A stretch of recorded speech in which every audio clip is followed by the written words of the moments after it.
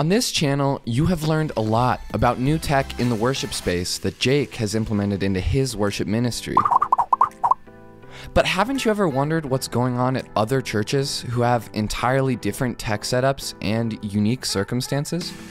In this new series that I'm creatively coining Worship Tech Tour, we are going to be diving into tech setups at different churches in order to highlight the distinctiveness and similarities between each.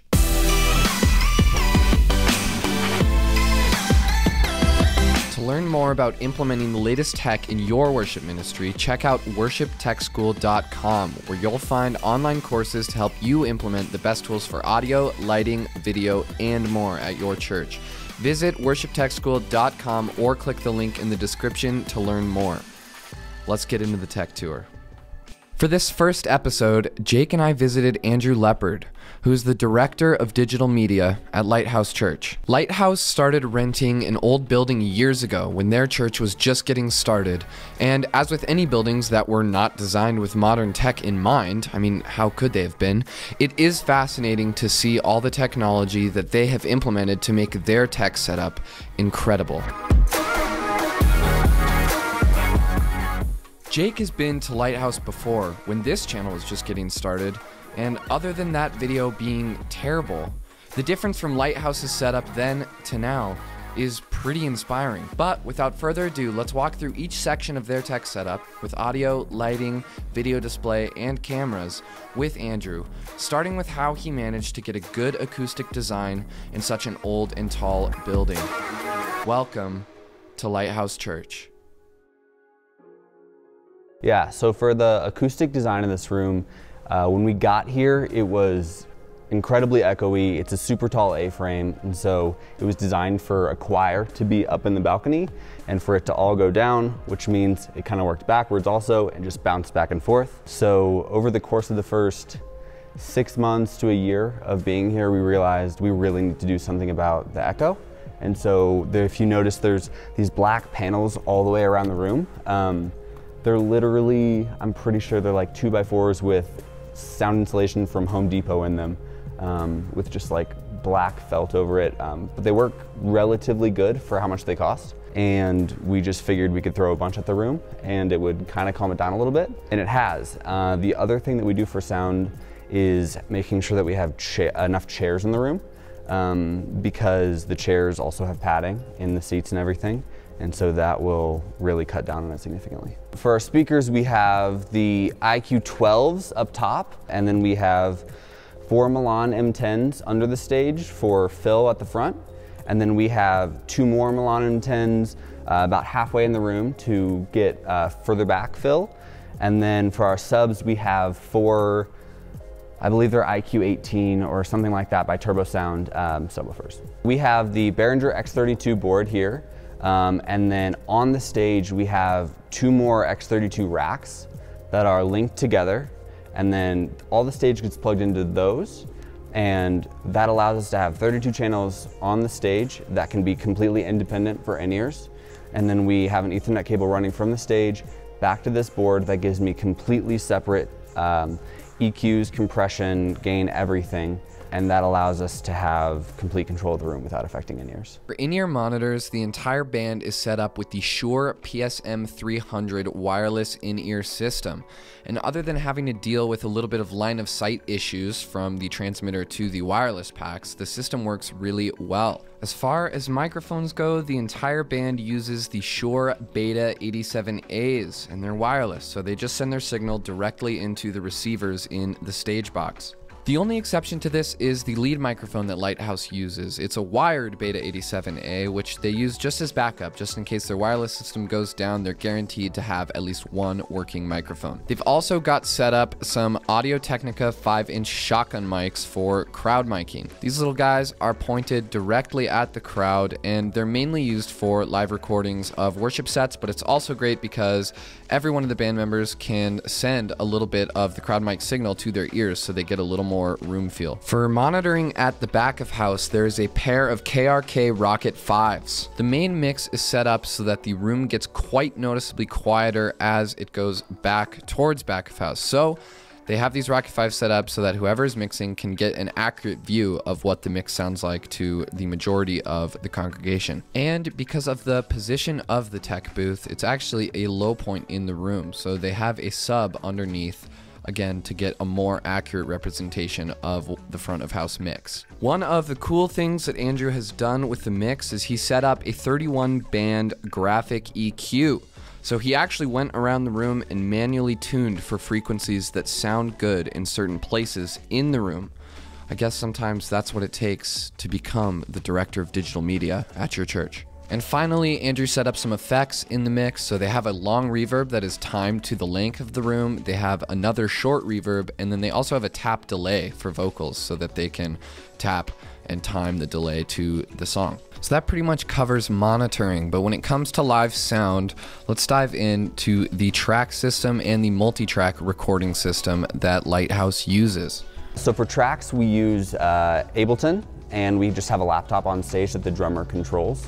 Um, and we have eight channels running to the board. Uh, two are dedicated to click and guide, and then the other six we actually have routed as DCAs so that on the right side of the board I have all of my, I have my main band DCA, I have the Mac PC computer, and then I have my six um, track lines. We definitely do multi-track recording. Um, the way we do it is we have a card in the back of the board where we plug in just SD cards and it records all 32 tracks.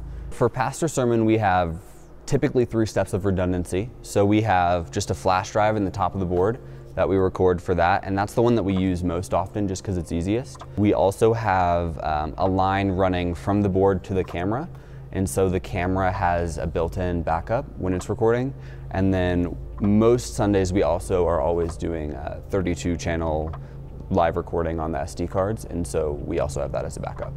Arguably, the coolest part about Lighthouse's whole tech setup is their screen. They got a custom 235 screen from Carl's Place, which is a website that specializes in custom screens. It's actually what we use at Mission Lakewood, and it's a really, really great screen and really budget friendly. But their custom screen is massive, so you're probably wondering what kind of projector they use to display such a large image. They use an ultra short throw laser projector by Epson. It's a rear projection projector, and it only has 8 feet of throw. So it is super high quality color, there is no pixelation, and it only sits 8 feet behind the screen. It's absolutely incredible. And then, quite less impressive, but just as important, is the confidence monitor. Andrew described it to me as being just a 40 inch TV, and that's a pretty good definition of it because it is just a 40 inch TV that sits on the front row. And this high tech TV gets its signal from a HDMI splitter that just sits in the tech booth behind their computer running Proclaim. But that's it for the displays. Let's hear a little more about the software they use, Proclaim. For presentation, we have a program called Proclaim, um, which when we started was just cheap, and so that's why we used it. But now, uh, over the past few years, it's really growing and developing into a program that we actually enjoy and love using. Um, and the, the, team has actually been really good to us. Uh, we had a, a, an idea a few months ago about something we could do with it that, that they'd never done before, and they had a team working on it for a week in their lab, just trying to figure out if they could fix it for us or whatever. And so um, we've really enjoyed using it. It's, it's manually done um, with just the person here with the keyboard and mouse, um, just watching the room. Um, we have a few things automated, um, mainly just the start of service countdown. Um, and then, yeah, I think that's actually it for automation. That may be it for Ableton automation, but all of the lighting scenes and lighting changes are actually automated through Proclaim's MIDI functionality. Lighthouse uses Lightkey for their lighting software, which means that they're doing something right because it's the same software that Jake and I use at our church. It's a super, super easy software to use, and from their computer in the tech booth, they can control all of their lights with just a click. And they have a lot of different options when it comes to controlling their lights with Lightkey because of how many lights they have set up in the room. They have light bars that go along the side leading up to the stage, and on stage they have several different movers. They have pars that offer a lot of different options for colored fill lights. Then they also have amber lights that they specifically use for the sermon. So their lighting system is pretty epic. Again, it is all automated with Proclaim, all of their lighting changes, and it's programmed by their worship leader week in and week out specifically for each worship set. And because of the versatility of Lightkey and just the amount of lights that they have, they can achieve a pretty serious diversity of different moods and feelings within each worship set. And finally, the last little piece of Lighthouse's light system is their hazer. They use the Hurricane Haze 4D, and they really only use this as a way to differentiate for special Sundays or special services like worship nights or really significant Sundays like Easter. But that pretty much covers it for their lighting setup. Let's move on to the cameras. So our full camera setup is we have this Sony camera that is just in the back, that's just a wide shot of the room, so that during worship nights and everything, uh, we have shots of the crowd being interactive. And then we also have a camera by the drum set that points at the drums and the drummer so that we can have up close shots of that. In the back up here mounted we have a Sony a7 series camera that has a, a really short HDMI cable just to this Atomos recorder. Um, and the best thing about that is we can just plug an SSD directly into the back um, just like a standard 2.5 inch SSD. And that'll give us four and a half hours of recording time um, at ProRes 422. And it gives us tons of flexibility in editing and also um, record time, no time limits because the Sony cameras have the 30 minute time limit. Although Lighthouse has a pretty awesome camera setup, they do not actually do any live streaming because of the camera time limitations that come along with the Sony A7s. And although Lighthouse does not live stream, the coolest thing about their camera setup is their back camera. And because it is externally recording, they actually send that feed to an Ethernet sender, which then sends the feed off to a splitter, which then sends two different feeds, one going to the cry room and one going to the green room, so that the babies and the band can have a live view of what is happening during the sermon. So the setup we have running here is an iMac Pro that has like an 8-core processor and a Vega 56 and some crazy specs. Um, and then we have Proclaim running on it, we have Lightkey running on it, and then we just have a, a Chrome window open with just Google Voice so that our kids ministry can uh, just text us a code if a kid needs to be picked up and we can just plug it into Proclaim and pop it up on the screen. Uh, the reason why we have an iMac Pro is because um, we were previously planning on doing um, video services and editing it all on this computer. Um, but we've since changed that concept, but we're also still going to just use it in the future for video, video editing projects. And as we hire more people, this will be their dedicated, um, you know, editing workstation. We just have this uh, Scarlett 2i2 here just to get clean audio from the computer to the board um, because we were running into some issues with um, just popping and stuff. So we wanted to have a, a really quality setup there. And that is going to wrap up this worship tech tour. Wasn't that a lot of fun, you guys? I sure had a lot of fun. Thank you, Andrew, for letting us come to Lighthouse and take a look at your tech setup. If you guys are interested in learning more about implementing the latest tech in your worship ministry, I want to invite you to check out worshiptechschool.com.